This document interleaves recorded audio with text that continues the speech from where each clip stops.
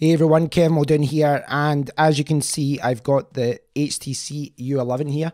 This is the new flagship phone from HTC. Apologise for my raspy voice, I do have the flu at the moment. You can see here I've got the amazing silver version. And this is one of the best phones out in the market at the moment. You can see it's got 64 gigabytes of RAM. It's got a, I'll zoom in a little bit.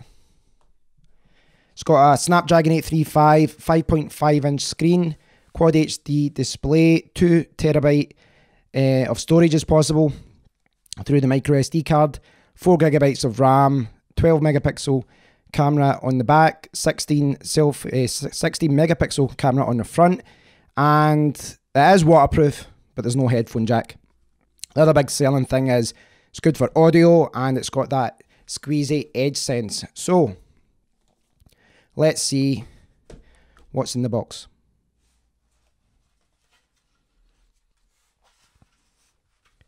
So here we have the HTC U11. I've got the amazing silver version and you can see from this three prong plug that I am in the UK.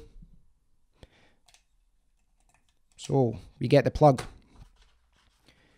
We get a USB type A to Type C charging cable.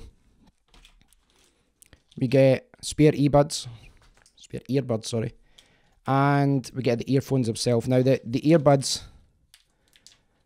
forget them out. As you can see, this doesn't have a headphone jack, so it's powered through the USB port. These are apparently very good. They've got a digital audio converter inside them.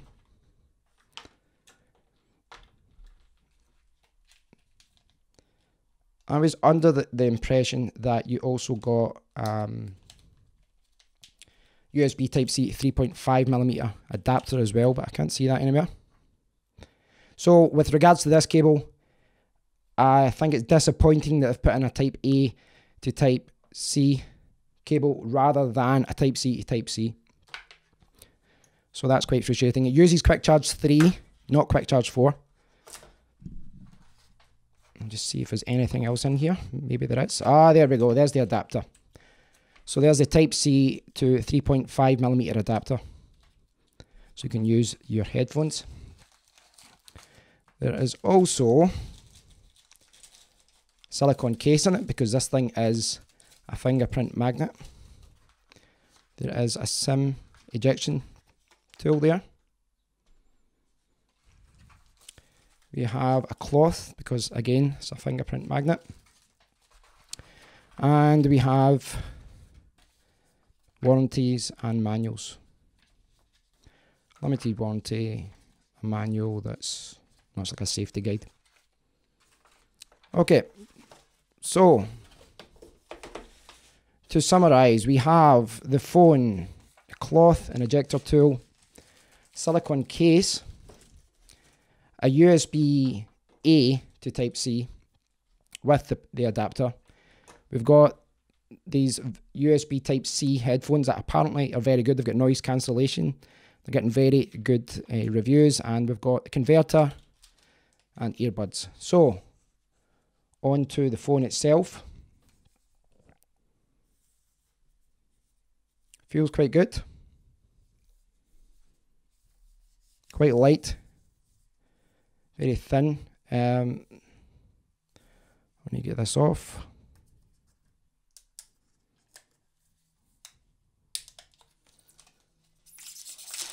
Oh, look how shiny that is.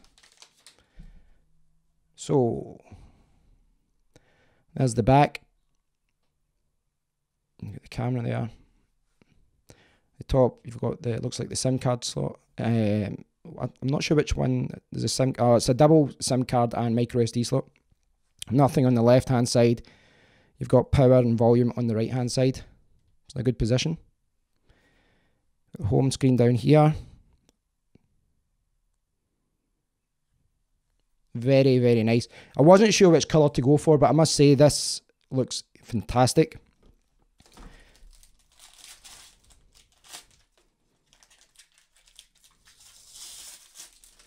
So the case that comes with it, it's not a fantastic case. It doesn't go around all the sides. I'm not sure what it's like in the USA, but in the UK just now, it's very hard to buy any type of accessory for this. There's no cases out for at least another week or so. There's no screen protectors or anything like that.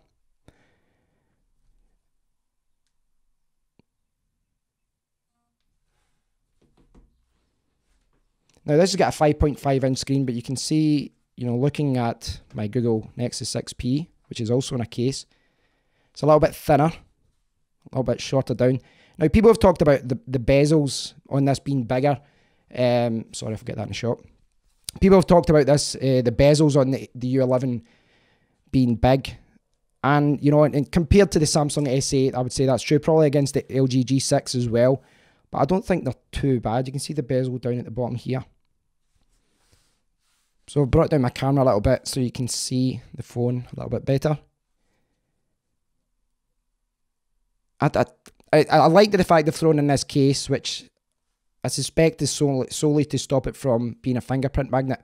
But I will say I, I had the HTC M8 and you know this aluminium material, it looks fantastic, but it makes it very, very slippery and that also it scrapes very easily. And that, you know, it's coming from someone who, even though he had a case, scraped his phone because it dropped out.